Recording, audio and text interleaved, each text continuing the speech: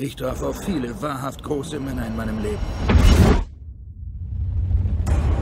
Doch nur einer war übermenschlich. Ein König wird nicht geboren. Er wird gemacht. Was wird uns wohl erwarten? Am Ende der Welt. Es wird niemals wieder einen wie dich geben.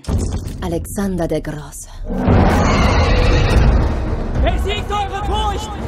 Und ich verspreche euch, ihr werdet auch den Tod besiegen! Es ist dein Stolz, der die Götter erzürnt. Kein Mann, keine Frau wird je so mächtig oder schön sein, dass das Unheil sie verschont. Er war nie vom Krieg besessen, Alexander, oder hat ihn wie du gesucht? Ah, wie kannst du es wagen? Alexander, sei vernünftig! Dein Name wird auf ewig in die Geschichte eingehen. Lang lebe der König! Die wichtigste Regel im Krieg lautet, selbst zu tun, was du von deinen Männern verlangst. Nicht mal mein größter Feind hat je gewagt, so zu mir zu sprechen! Ich habe den zur Welt gebracht, der mich rächen wird! Ich sehe sie in deinen Augen. Du wirst mir gehorsam. Nur die Stärksten können herrschen. Alles, was du willst, die Welt gehört dir!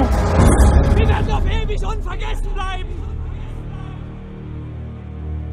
Alles, was am Ende zählt, sind Taten.